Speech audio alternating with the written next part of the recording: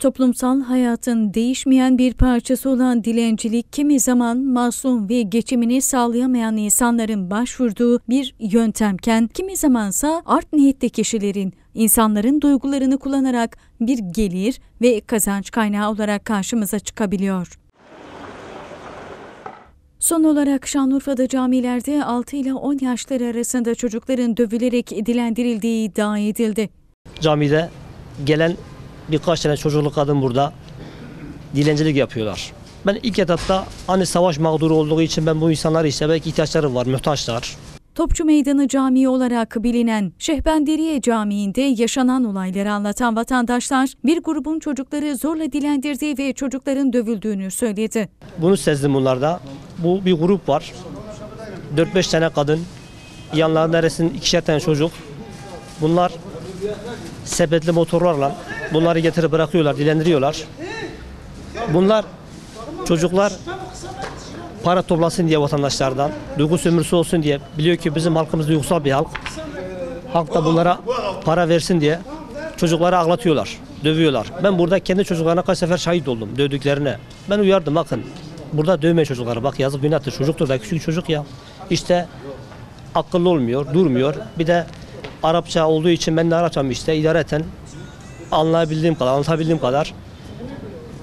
Yani bu son dönemlerde farklı çocuklar yanlarına getirmeye başladılar. İki tane kız çocuğu. Biri 5-6 yaşlarında, biri de 8-9 yaşlarında. Ben bu çocuğu her gördüğümde ağlıyor. Burada bizim tuvalet var, bayan tuvaleti. Bunlar ihtiyaçlarını gidermek için tuvalete gidiyorlar. Çocuğu da yanında alıyor, tuvalete koyuyor. Bu sefer çat pat ses geliyor. Çocuğun kafasını ya duvara vuruyor. Böyle duvar sesini hissedebiliyorum ben. Buradan böyle hissedebiliyorum çocuğun sesini.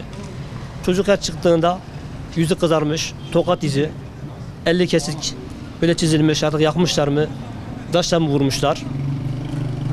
Dün ise yine o çocuk geldi yine. Yine ben gördüm çocuğun gözleri morarmış, mosmor, kafa şiş. Ben resmen yani böyle cinnet geçirdim ya dedim bu olamaz böyle bir şey ya. Vatandaşlar tarafından çekilen görüntülerde çocukların yüzlerinin morardığı ve ellerinde kesiklerin olması dikkat çekiyor.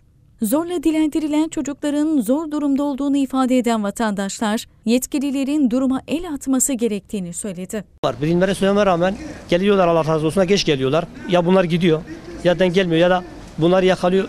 iki gün sonra yine aynı tas aynı hamam. Yani buna bir çözüm yok. Özel hareket polis arkadaşlar vardı.